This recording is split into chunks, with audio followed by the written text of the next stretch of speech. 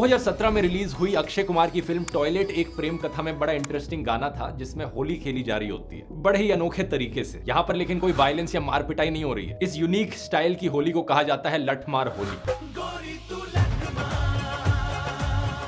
इसका ओरिजिन दोस्तों उत्तर प्रदेश के मथुरा से करीब 42 किलोमीटर दूर बरसाने में हुआ था। इसके पीछे का लेजेंड राधा और कृष्णा से जुड़ा है। कृष्णा नंद गाँव में रहते थे, जबकि राधा बरसाने की रहने वाली थी। होली पर जब भी कृष्णा और उनके दोस्त राधा के साथ होली खेलने बरसाने जाते तो राधा और उनकी दोस्त मज़ाक मस्ती में वहाँ से भगाने के लिए उनको लाठियों से मारती तभी से नंद गाँव के आदमी बरसाना जाते हैं और वहाँ की औरतें लाठियों से उनका स्वागत करती है। तो यही कारण है इस इंटरेस्टिंग ट्रेडिशन का मथुरा के आसपास कई गाँव में होली आज के दिन भी इसी तरीके से खेली जाती है। ऐसे ही और भी इंटरेस्टिंग रीजनल ट्रेडिशन है होली को लेकर। जैसे कि वृंदावन और द्वारका में फूलों और लड्डुओं से होली खेली जाती है। जैसलमेर और बादमेर में पत्थरों से होली खेली जाती है। और उदयपुर के एक ट्राइबल गाँव में जलते हुए अंगारों पर दौड़कर होली खेली जाती है।